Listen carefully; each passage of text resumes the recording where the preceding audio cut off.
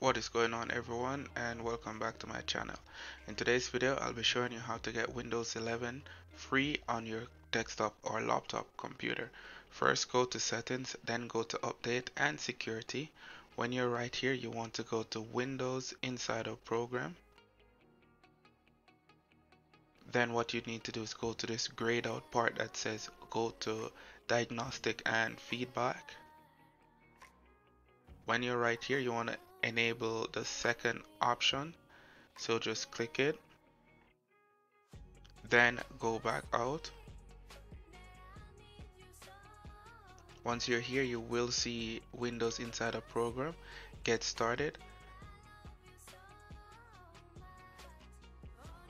Wait until it's loaded. Right here it's asking you to register and you will need to register with your Microsoft account. So click register click signed up. Tick this box right here. Submit. You're good to go. Now all we have to do is just close this down right here. Wait a few seconds. Now you have to link your Microsoft account. So click on the part that's where it says linked account. Choose your Microsoft account. Then click continue when you get to this option, choose the recommended option, which is the middle one. If you're just a regular PC user, use the middle one. Right here, you just want to read through it if you want and then continue.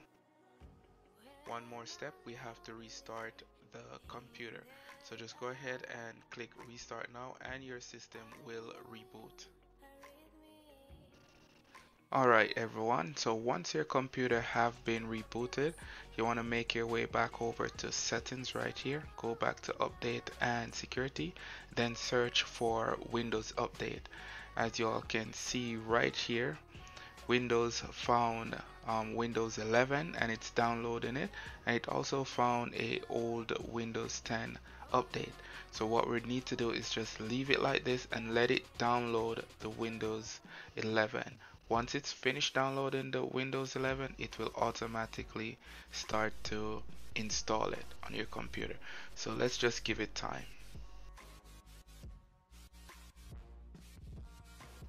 Okay so once Windows 11 is finished downloading and installing just go ahead and restart your computer Okay everyone, so after rebooting the PC, you will notice that you are now on Windows 11. So all I have to do is just go to settings again right here and then I'll scroll down to where you'll see about. This will um, display your computer information. So as you all can see again, I am on Windows 11 Pro and here is the date that it was installed. The next thing that we can do is go to Windows Update again and here we can see that we have around three updates that are available. We can now go ahead and download these updates and then restart the computer again. After that you should be all set to go and start using Windows 11. So that's it guys, thank you all for watching. If the video was helpful, please give it a like, share the video around, and you guys can subscribe for more video to come. Thank you all, and I will see you guys next time.